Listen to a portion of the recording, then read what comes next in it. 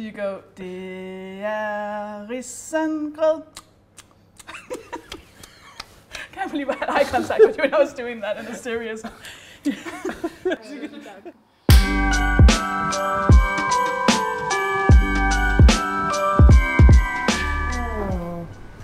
Hello. Welcome. Nice to meet you. Lovely to meet you. Nice Welcome. to meet you. Oh, I love the colors. Thank you. It's Christmas. This is gorgeous. Welcome to the test kitchen. Thank you. Thank you for having This me. This is where the magic happens.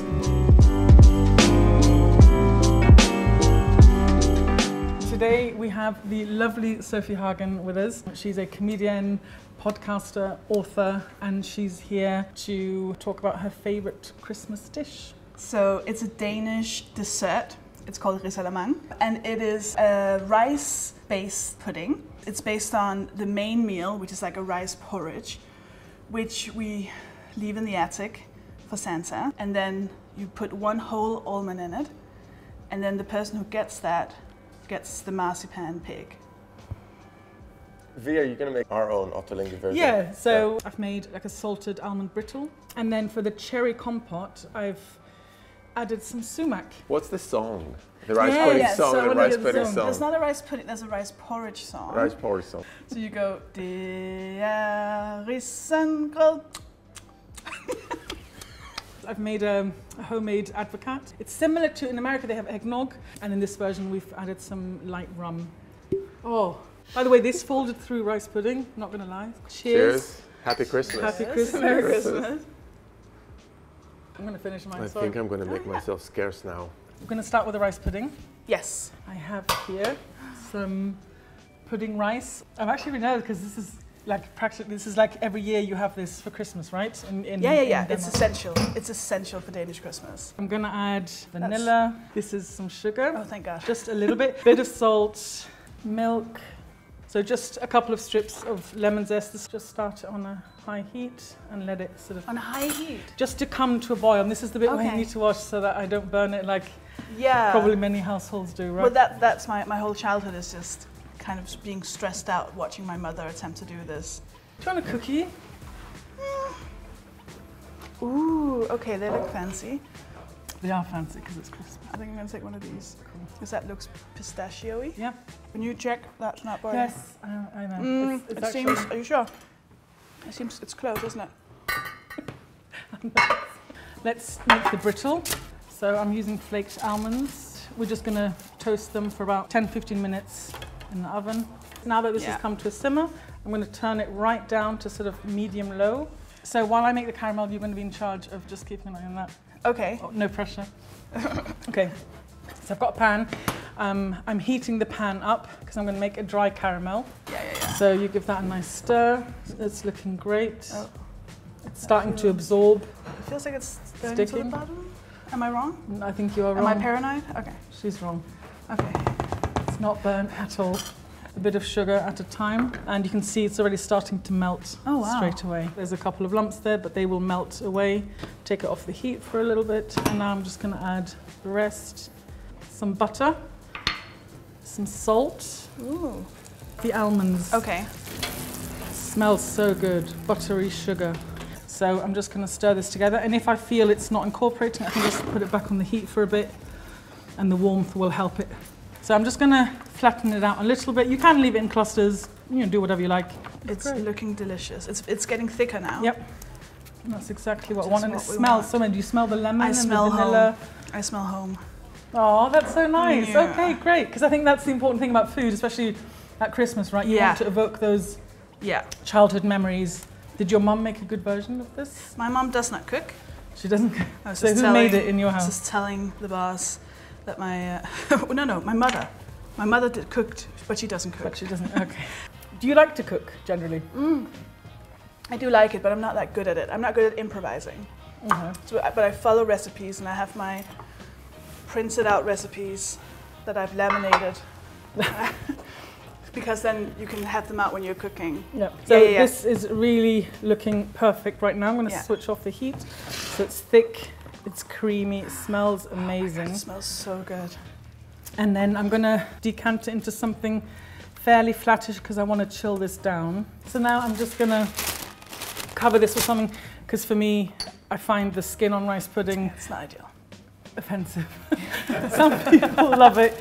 I do not. But you love burnt rice. But just, That's just- fine. Yeah, okay.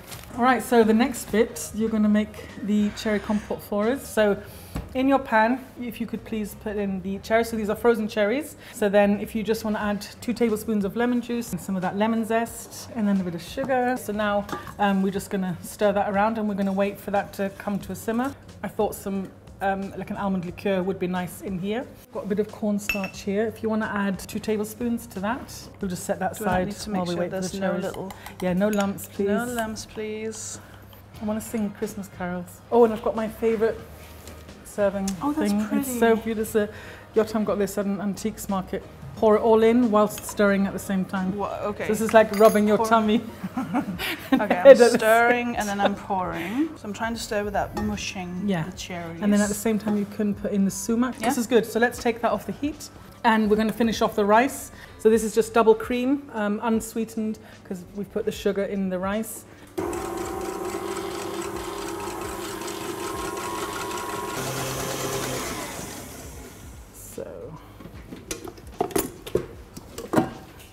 Just going to tighten it up a little bit by hand. Just always have better control that way. Okay, so this is what I'm looking for. So it's it's definitely not holding a peak. Okay, so the rice pudding from earlier is nice and cold, and I'm gonna loosen it with a little bit more amaretto. One for luck, because I like things in threes sure, that's actually why. quite often. Fold in the cream, but maybe half first, Okay. so that we don't overmix. Is this looking familiar now to you? Oh yes, Yeah. Are you so. happy with that? I'm happy. Perfect. So this is the almond brittle that we made. Break some off. Oh, that that's a knife, isn't it? Oh my god. Just roughly chop. Oh yeah, that's fine. I mean, oh there we go. That's the thing about recipes is when it's like a pinch of roughly chopped. You're like, I don't. What is that? Yeah, so if you just want to add that to the rice pudding. Would you do this, or is that a an No, amateur yeah, no, it's not at move?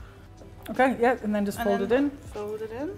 I have this amazing Perfect. talent to arrive at the, very, Exactly. at the very right No, this looks really good. Oh yeah. So, well, yeah, so you can be here to hear about the almond because I want to hear more about the almond. That looks really good. So we need to find a way of, of hiding that. If you want to turn around, Um, We feel can like look the at Grinch. the spices.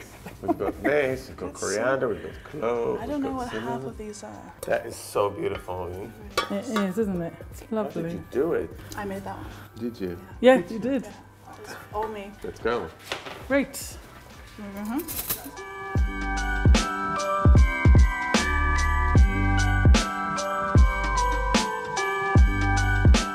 So we've got four glasses and there's only three of us. So if we have any takers, We have Millie, Millie. She's here. How can I help? How can we help you? Thank and you. one of them has a hidden almond. Yes. So Sofie, would you traditionally eat this on Christmas Day? Well, we don't do Christmas Day. We do Christmas Eve. Ah. Mm. Yum. This is sensational. Yeah. Mm. Oh, this is so good. So how does it compare to the original? Be be honest. Do you want me to leave the room? Yeah. Do you know what it is? It tastes like an adult version. This is like, oh, I'm an adult now. You got the almond. Yeah. For me, it's all about the leftovers. Mm. The next day, what is that a thing in Denmark? Like a Christmas sandwich or Like a rye bread with the leftover pork. And you'd have like a bunch of marzipan, a bunch of nougat, uh, some uh, blanched almonds, some chocolate. And then you just build, like, make little figures or like little snowman made of Oh, marzipan. that's lovely. So who got the you got the almond? You got the almond. Nice. Usually you would get a really nice chunky pink marzipan pig. But we're cheap. That's, But, oh, that, that's what Same, you, same. That's what you're getting. A so little much. pig. So happy. It's been the best day of my life. I think Millie's quite a fan I've of got- this. Really? got the big one. Uh, I am a big fan Well, of you this. haven't had any. Cheers. Cheers. Merry Christmas. Cheers, Merry Christmas. Thank you so much for watching. The recipe is down below. Uh, if you enjoyed it, please like and subscribe.